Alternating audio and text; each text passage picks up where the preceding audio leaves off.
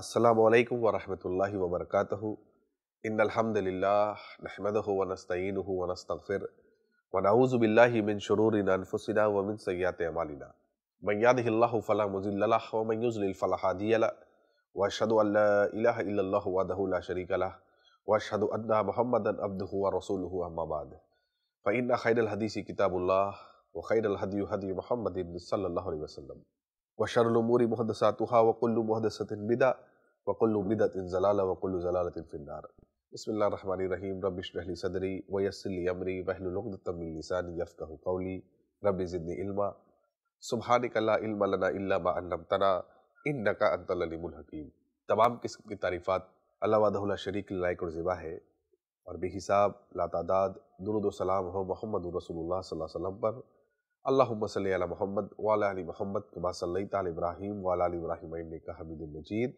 अल्लाह बारिक अला मोहम्मद वाल मोहम्मद कमा बारक ताल इब्राहिम वाल इब्राहिम का हमीद मजीद नाजरीन मैं आपका खैर मकदम करता हूँ आज के इस एपिसोड में इन हम अपनी सीरीज़ इस्लाम साइंस एंड मुस्लिम साइंटिस्ट को आगे बढ़ाते हुए आज इस एपिसोड में हम आज बात करेंगे इनशाला एम्ब्रॉयलॉजी पर यानी हम बात करेंगे कि हम खुद वजूद में कैसे आए यानी इंसान वजूद में किस तरीके से आया है क्या वो ज़राए थे जिस वजह से हम माँ के पेट में आए और फिर कैसे माँ के पेट से हम बाहर आए और फिर किन किन मरहलों से हम गुजरे इन तमाम चीज़ों को इंशाल्लाह हम देखेंगे।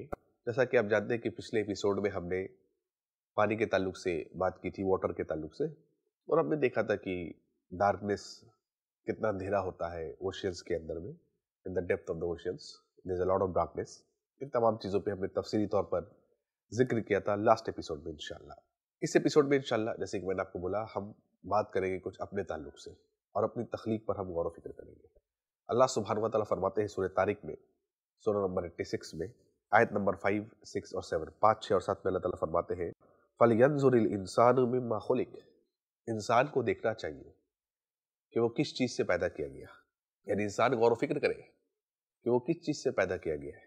सूर्य तारिक आयत नंबर छः में अल्लाह ताला फरमाते हैं, खुलिक मिम्मा इन दाफिक, वो देखे कि दरअसल वो एक उछलते हुए पानी से पैदा किया गया। और आयत नंबर सात में अल्लाह ताला फरमाते हैं यख रजू में बैन सुलबी व तराइब वो पानी सीने और पीठ के दरमियान के बीच से आया है। यानी इन तीन आयतों में अल्लाह सुबहान ताला ने हमारी तखलीक के बारे में ज़िक्र किया है। ज़ाहिर सी बात है, ये जो पानी, जो उछलता हुआ पानी है, जो आया है ये एक अच्छी जगह से नहीं आया है, हम सब जानते हैं। यानी अल्लाह ताला हमारे वजूद को बतला रहे हैं कि देखो, तुम थे क्या?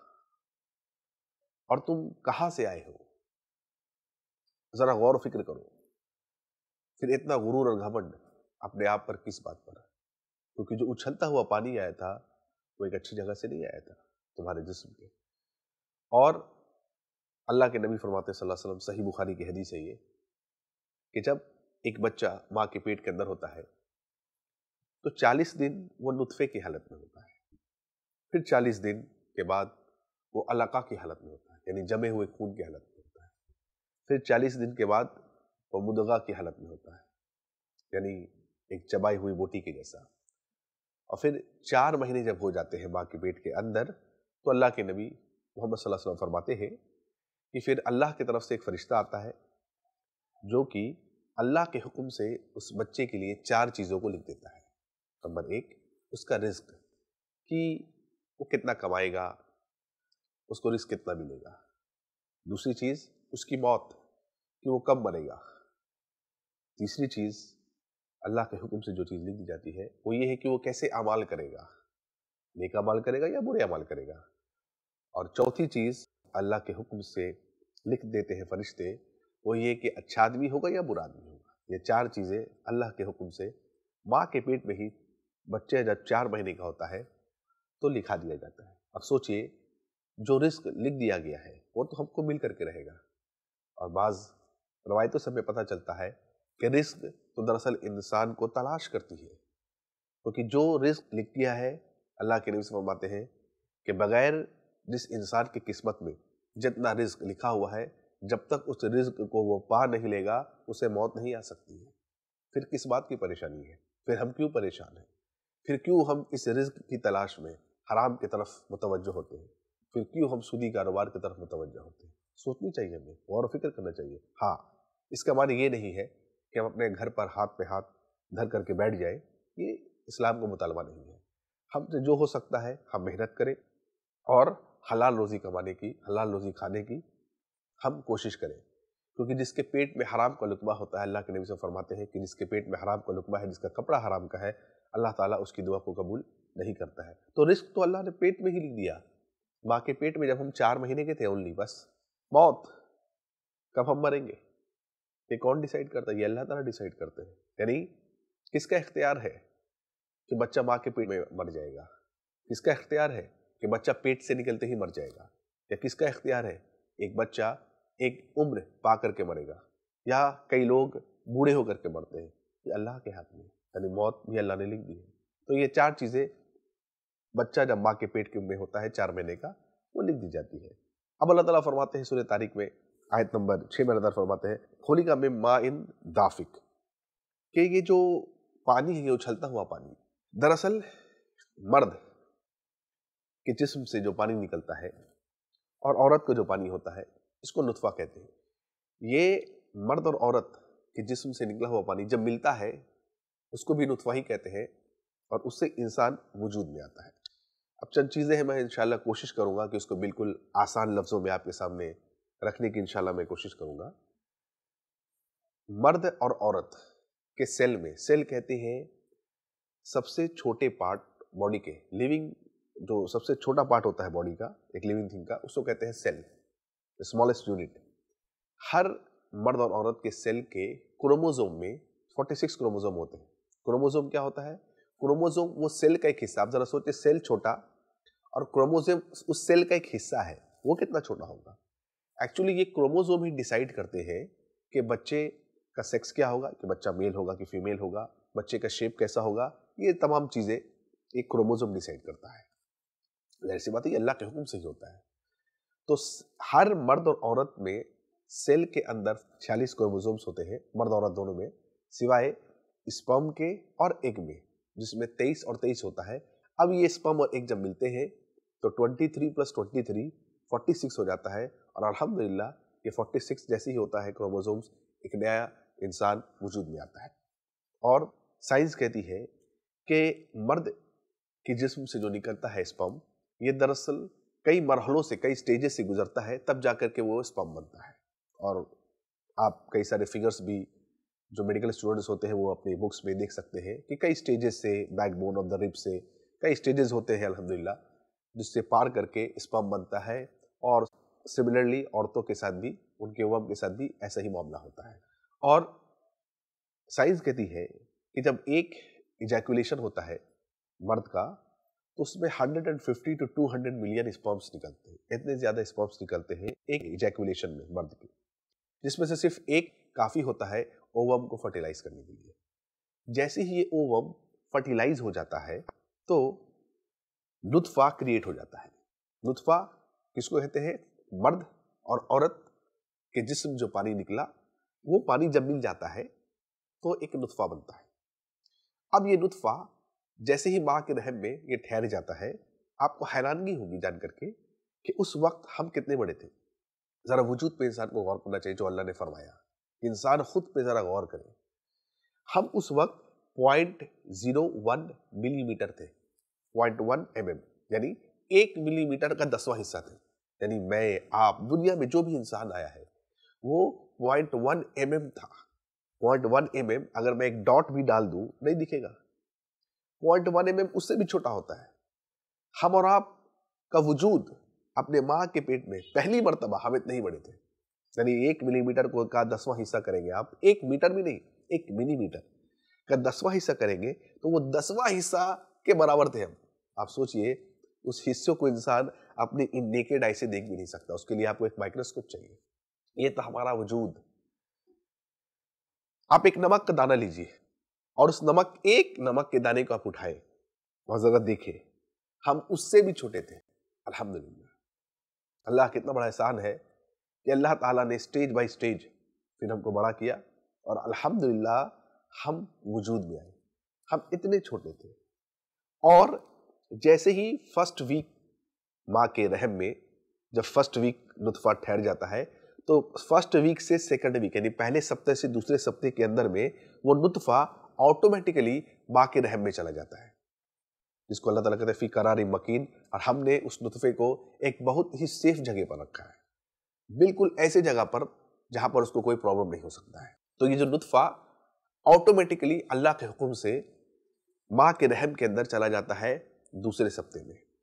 और जैसे ही ये माँ के रहम में जाता है, अब ये नुतफा बिल्कुल सेफ़ हो जाता है और माँ के रहम के बाहर ऑटोमेटिकली माँ का रहम बंद हो जाता है। ऑटोमेटिकली अल्लाह के हुक्म से ये ऑटोमेटिकली माँ का रहम क्या हो गया? बंद हो गया। अब ये नुतफा, जो कि मर्द और औरत के पानी का मिक्सचर था, अब 40 दिन के बाद अल्लाह ताला के हुक्म से ये बन जाता है एक अलाका। अलका कहते हैं खून के लोथड़े को। और अलाका को हम एक लीच लाइक सब्टेंस भी कहते हैं। अलीच लाइक थिंग जो कि आपको स्क्रीन पर दिख रहा होगा। अगर आप देखेंगे इस अलका को, अगर मिलाएँगे लीच से तो बिल्कुल हम जैसे थे अलका, एक खून के, जमे हुए खून के जो लोथड़े थे, ये बिल्कुल उसी शेप में था जिस शेप में लीच होता है, जैसा लीच का शेप होता है। लीच क्या करता है? दरअसल ये खून को चूसता है। हु बहू अलका के स्टेज में अल्हम्दुलिल्लाह बच्चा क्या करता है? माँ के खून को चूसता है। माँ के खून की से तो उसकी परवरिश हो रही है उस वक्त। माँ के खून से ही तो उसके अंदर वो खून आ रहा है। तो जस्ट लाइक like जो लीच का काम है, वो काम अलका का है, जब हम अलका के स्टेज में थे। फिर कुछ दिनों बाद आफ्टर फोर्टी डेज़ हम मुदगा के स्टेज में चले आते हैं। मुदगा, जैसे हमने बताया, एक चबाई हुई बोटी आप एक गम ले, और गम पर उसको अपने तीत में, दांतों के तले दबाए। तो आप दबाएँगे तो आप देखेंगे कि दांतों के निशान चले आते हैं। बिल्कुल हम वैसे ही थे, जैसे आपको स्क्रीन पे दिख रहा होगा। बिल्कुल हम वैसे ही थे। आप सोचिए, एक सेंटीमीटर से भी हम कम थे। सुबह अल्लाह एक सेंटीमीटर से भी हम कम थे। देखिए स्क्रीन पर आप। और बिल्कुल ये मुदगा की स्टेज में वन सेंटीमीटर से भी कम। उसके बाद रुतफा अलका मुदगा फिर हम इजामा के स्टेज में आए, यानी फिर हड्डियाँ बनने लगी। एंड देन हड्डियों से लहम, यानी हड्डियों पर गोश्त चढ़ गया। और फिर अल्लाह ताला ने एक नई क्रिएशन को पैदा कर दिया, अल्हम्दुलिल्लाह। ये स्टेजेस के थ्रू हम आ रहे हैं। अल्हम्दुलिल्लाह सुबह अल्हम्दुलिल्लाह। और अजीब बात यह है कि बच्चा जब माँ के पेट के अंदर होता है और उसकी तख्लीक होती रहती है, उसके आँख, कान, नाक सब कुछ बन रहे हैं और उसका दिल भी बनता है। दिल के बारे में इंशाल्लाह हम आगे के एपिसोड्स में मजीद बात करेंगे इंशाल्लाह। उसका दिल भी बनता है और उसके लंग्स यानी फेफड़े, वो भी बनते हैं। और एक हैरानगी की बात क्या है कि आज की तहकीकी साइंस हमको ये बतला रही है कि बच्चे के दिल में जब बच्चा माँ के पेट के अंदर होता है तो जो बच्चे का दिल बनता है तो अल्लाह सुबहान व ताला की तरफ़ से उस दिल में एक सुराख होता है, एक होल होता है। ये होल क्यों होता है? उसकी भी एक वजह है। हर एक चीज़ जो अल्लाह सुबहान व ताला ने बनाई है, हर एक चीज़ की वजह है। उस दिल में होल क्यों होता है? क्योंकि हम सांस लेते हैं अपने फेफड़ों के ज़रिए से यानी लंग्स के ज़रिए से। लेकिन बच्चे का जो लंग्स होता है, जब वो माँ के पेट के अंदर होता है, वो अल्लाह के हुक्म से ब्लॉक किया हुआ होता है। यानी लंग्स उस टाइम काम नहीं कर रहे होते ये अल्लाह का हुक्म है। क्यों? इसमें बहुत बड़ी हिम्मत है। क्योंकि अगर वो लंग्स से सांस लेगा तो बच्चा अंदर माँ के पेट के अंदर ही मर जाएगा। लेकिन बच्चे को तो ऑक्सीजन चाहिए तो ये ऑक्सीजन मिलता कैसे है? तो माँ का खून जो आ रहा है, वो बच्चे के दिल में जाता है इस होल के ज़रिए से, दाहिने साइड में। दिल के दो हिस्से होते हैं राइट एंड लेफ़्ट तो राइट साइड में जो बच्चे के दिल में, माँ के पेट के अंदर जो होल होता है, माँ का जो खून आता है, वो उस होल के अंदर जाता है और उस होल के अंदर दाहिने तरफ़ जा करके वो ऑटोमेटिकली बाएँ तरफ़ दिल के चला आता है और फिर बाएँ तरफ़ से वो पूरे बॉडी में बच्चे के, अल्हम्दुलिल्लाह, वो खून चला जाता है। लेकिन नॉर्मली होता क्या है? अमूमन ऐसा नहीं होता है। अमूमन ऐसा होता है, आज हमारे जिसम के अंदर ब्लड कैसे फ्लो करता है? ब्लड आता है हार्ट के राइट पार्ट में, यानी कि दाहिने हिस्से में, और फिर दिल के दाहिने हिस्से से ब्लड चला जाता है फेफड़ों तक, यानी लंग्स तक। फिर लंग्स से ये आता है हार्ट के लेफ़्ट हिस्से में, और फिर हार्ट के लेफ़्ट हिस्से से हार्ट जो है ये पूरे बॉडी में ब्लड को पंप कर देता है। ये नॉर्मल प्रोसीजर है, हम इंसानों में इस तरीके से खून हमारे जिसम में दौड़ता है। खून आता है, हार्ट के राइट हिस्से में, दाहिने हिस्से में, फिर ये फेफड़ों की तरफ़ चला जाता है, यानी लंग्स की तरफ़।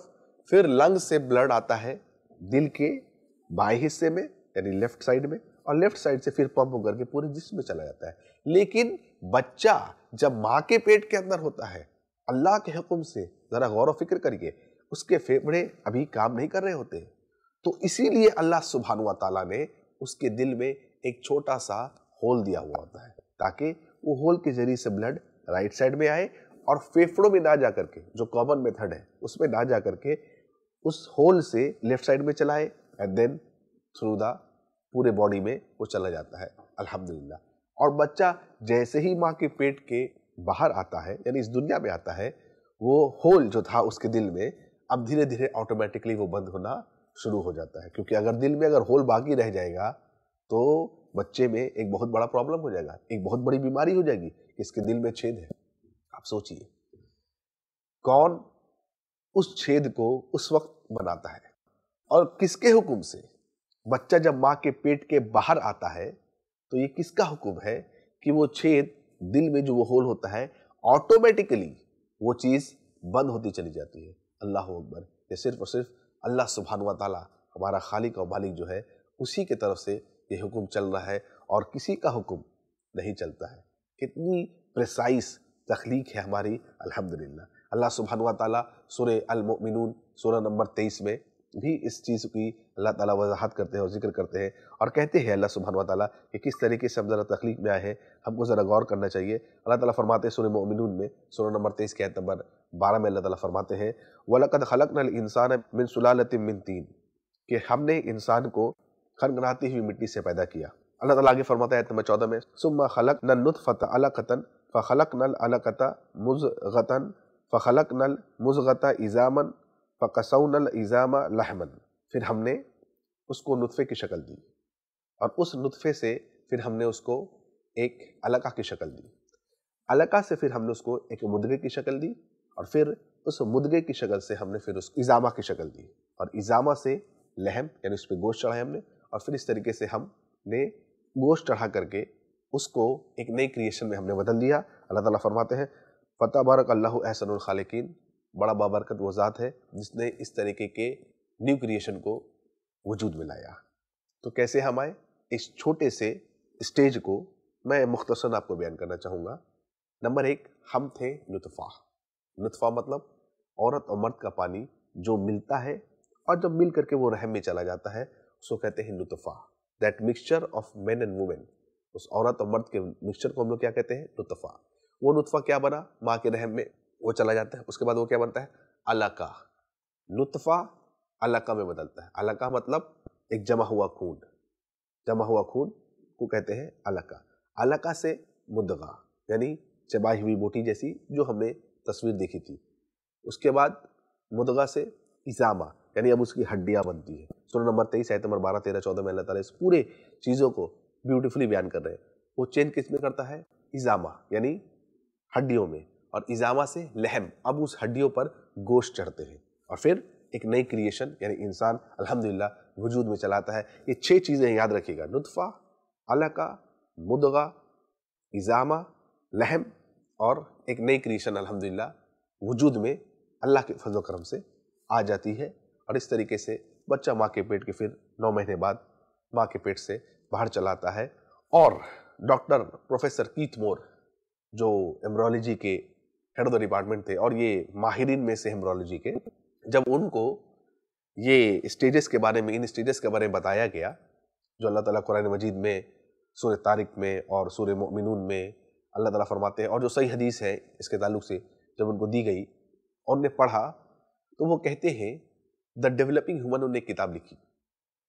आप स्क्रीन पे देख रहे होंगे, द डेवलपिंग ह्यूमन यहाँ मार्क करने वाली बात क्या है, उस किताब के फ्रंट पेज पे ही जब इन आयतों को और हदीसों को उन्होंने पढ़ा है तो उन्होंने कहा है कि ये इतना परफेक्ट डिस्क्रिप्शन है कि हम साइंसदा इतना नॉलेज रखने के बावजूद भी इस तरीके का perfect description step by step नुतफ़ा अलका, मुदगा, इजामा, लहम, ये जो इतना खूबसूरती से अल्लाह ने स्टेप्स बयान किया है, ये कोई नहीं बयान कर सकता है।